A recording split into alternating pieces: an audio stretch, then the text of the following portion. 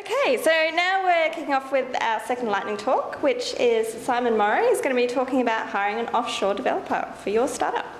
Over to you. Hi guys, how you going? Um, so this is a five-minute version of probably an hour-long conversation.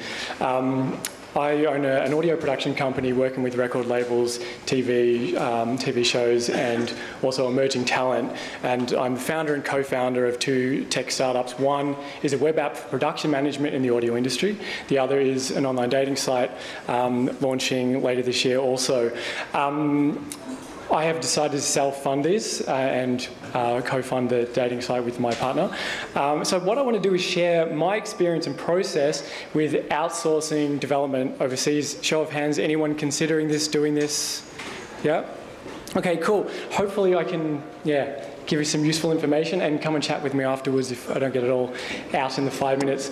Um, the information on these slides will be available for download. I think Scott might send them out. So, um, left button. Is that? Try now. Hooray. Um, so first thing I think is very useful to do is learn about the technology. So not learn how to code the whole thing yourself, but perhaps uh, what I did was, yeah. are we going back? Oh, oh, for goodness sakes, how embarrassing. Could you just put on the second slide, please, Ryan? I'll see if I can out, yeah, thank you. Outsourcing presentations. Um, so I decided to take on board the responsibility for learning a little, about, little bit about the technology and the code so that when I was um, choosing the technology to build uh, in, be it Ruby or PHP or using Amazon Web Servers or you know, something like that, I had a bit of a better understanding. I could communicate better with the developers. Um, there's some links at the end of to show you places you can learn uh, simple stuff online. Um, you could also attend a short course if you prefer assisted um, learning, uh, and also keep up to date with the best practice in technology blogs. Uh, you know, an example, when responsive websites came out, there were a lot of people that didn't get on board for a year later and they wasted a lot of money because they had to redesign their sites. Slide number three. um, so where to find them? Finding developers is really easy. Finding great developers can be really challenging.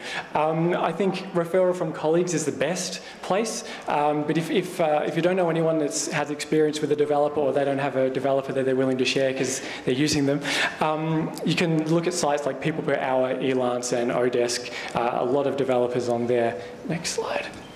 Oh, go team. Okay, so um, how to choose them. Uh, I think pre prepare a very good brief uh, about the project, um, list uh, the required technologies. So this might be responsive design, HTML5, Ruby on Rails. Um, then search for developers with those matching skills and create a short list and then contact them with a brief. After they get back to you, what I've done in the past is select a handful of those applicants and then I've tested them on smaller projects. Uh, for example, I get a developer to build a custom WordPress plugin for me that I may not ever use, but it gives me the experience of actually working with them, their communication, um, how they respond to deadlines, etc. You know, maybe budget $1,000 to test out two to five developers and save tens of thousands of dollars by being able to outsource the work. Um, next. Um, so budgeting, I think you have to be realistic with the budget. So talk with people that have done this sort of thing before, because um, quite often you might post a budget of $10,000 to, to uh, complete a project and you'll get developers saying, I can do it for two, I can do it for six, I can do it for 20.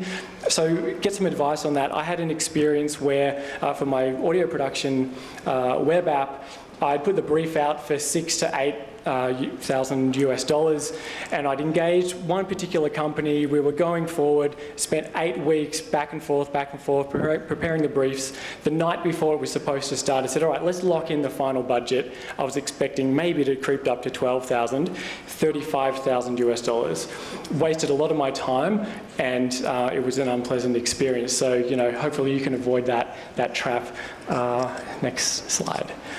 Um, what I've found is you have to be very detailed in a brief. Um, it's, it's infrequent that, that a developer, um, if an offshore developer, is going to be very intuitive. What I've found is more likely is it's going to be following the brief to the T, And in scenarios where, some, where one function can be formed in many different ways, for example, uploading a file to an S3 bucket on Amazon, there are many different ways you can do it. They will pick the fastest and easiest method, not necessarily the most secure or best for the performance of your product. Um, so what I do is I discuss this stuff with a local dev and actually pay them to maybe even set up the initial architecture and then you can outsource the kind of legwork stuff with a bit more confidence. Um, next. okay. Um, so I think this is really important, code quality and security.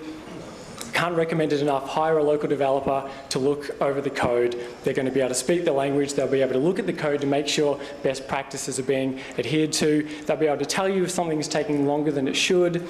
Um, so I highly recommend that. Um, also, you want to keep a local backup of all of the code that they're working on in case they disappear off the face of the planet. This can happen, um, so very important.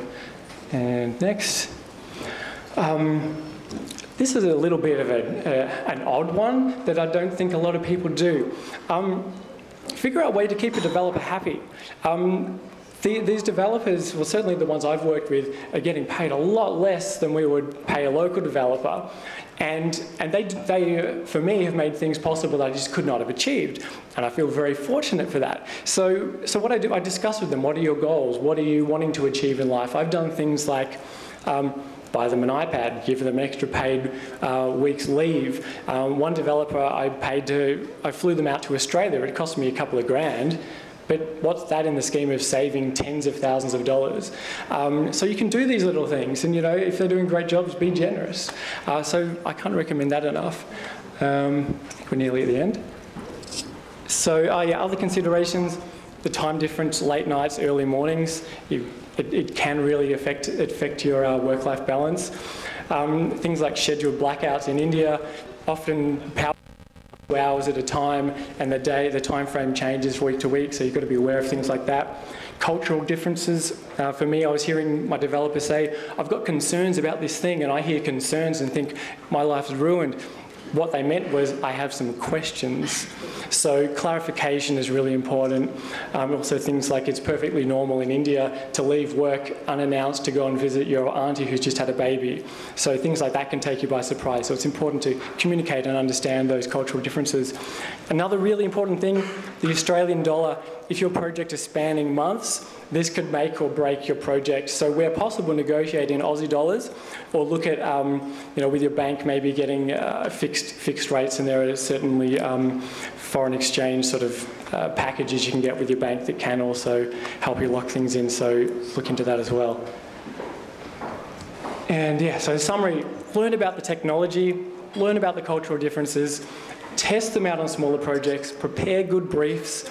Um, be realistic about costs, hire a senior dev or local de developer to review their work, secure and back up the code, and at the bottom, uh, keep them happy. So the next slide, um, there's just a, a bunch of um, resources uh, which will be available to you. Thanks for your time and chat with me later.